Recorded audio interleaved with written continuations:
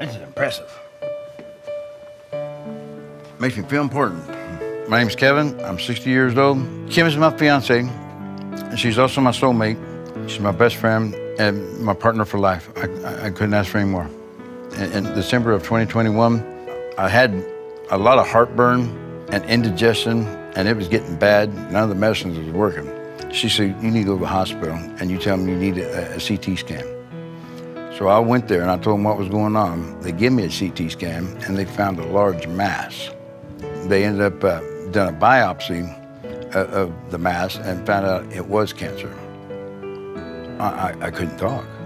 I mean, I, I, I started crying. And I'm like, I just met Kim. I don't, I don't want to go now.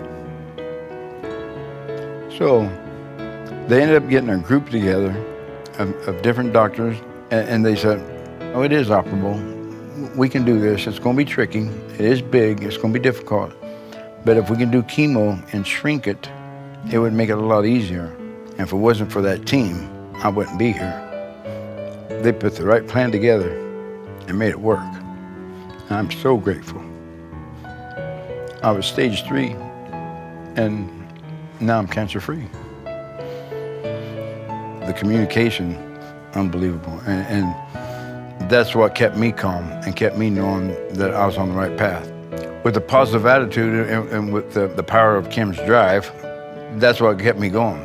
But if it wasn't for her encouraging me to keep eating and get my strength back, I, I wouldn't have made it.